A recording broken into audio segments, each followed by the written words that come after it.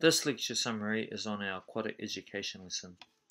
For this lecture, for this lesson, we had visiting lecturer Jan Taylor from WaterSafe Auckland. I thought this lecture covered the key areas of learning, which are physical activity, outdoor education, and body care and physical safety. Aquatic education is about learning how to swim, safety around the water, and water sport activities.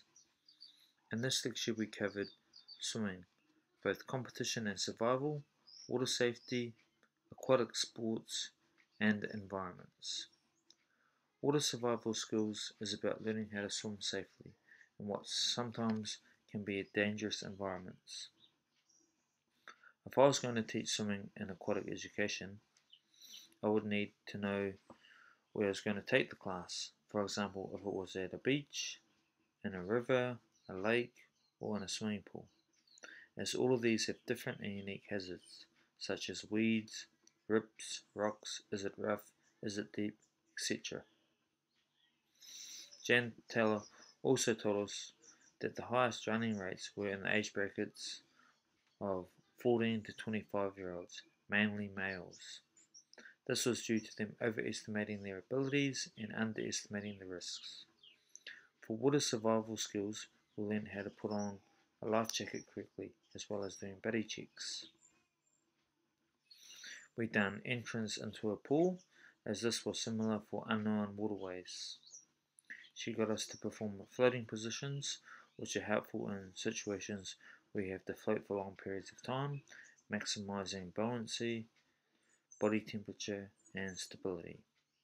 Then we looked at survival skills in aquatic environments, in particular at the beach. Mainly we looked at currents and rips, obviously because these are the main hazards that people underestimate and lead to drowning and injuries.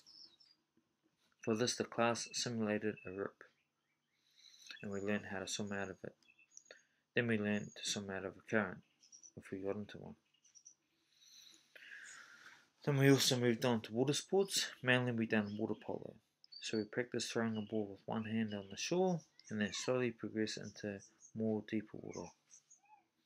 We've done some drills and some warm ups as well. I thought the main objective for this lesson was to develop confidence around the water and maximizing um, or mainly emphasizing on safe decision making. Now, when referring to when I was at school, we never had aquatic education, our teacher would just take us down to the river for a swim, and we'd jump off the banks. Sometimes we'd even hit the bottom of the river. So I did learn some things about this that I didn't know. Also learned some um, different safety techniques.